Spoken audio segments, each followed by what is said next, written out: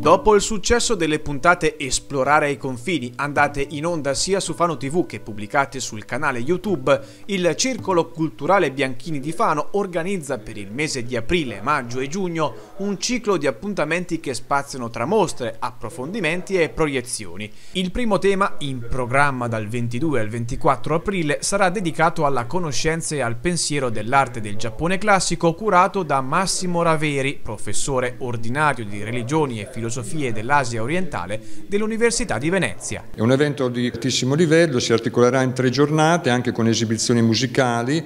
Il primo giorno, ad esempio, il professor Raveri tratterà il tema degli sciamani delle montagne sacre, i Amabushi, al termine di questa prima conferenza ci sarà un'esibizione di taiko, il tamburo giapponese. Il secondo giorno parlerà del linguaggio di fronte all'assoluto, quindi il buddismo zen è il linguaggio per esprimere l'ineffabile, l'inesprimibile. Il terzo giorno il tema sarà invece quello dell'arte giapponese come via spirituale. Il secondo incontro invece riguarda la storia del regista Pierpaolo Pasolini. Al nuovo Cinema Masetti infatti verrà dedicata una rassegna cinematografica dedicata al centenario della sua nascita nelle date del 13 aprile, 18 maggio e 8 giugno. Si tratta di tre eh, proiezioni, però il tutto inizierà il 13 aprile anche con una conferenza di Roberto Chiesi, che è il direttore dell'archivio Pasolini della Cineteca di Bologna, che parlerà di Pasolini come regista.